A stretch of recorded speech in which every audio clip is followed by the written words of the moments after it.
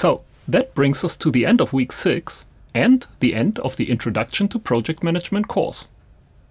It has been a real pleasure to engage in this journey with you, and we hope that you have a clearer understanding of the different steps that you need to take when managing a project, no matter the size or complexity.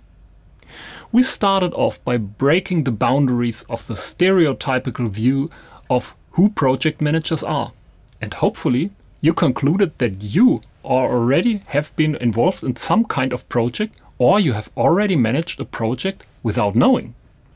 We then introduced you to the project management canvas and we navigated our way through the four phases of the project management lifecycle, namely initiation, planning, execution and closure.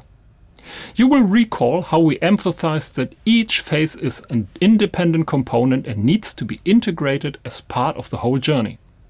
But more importantly, we stressed that you need to be able to answer the key questions within each phase before moving to the stage gate and into the next one. We also looked at the importance of developing leadership and effective communication skills to lead a team and engage with stakeholders as part of successful project management. To wrap up, consider a few key questions when embarking on your project management journey. What is the project? How will you go about planning for project execution? How will you engage with your team and other stakeholders throughout the process?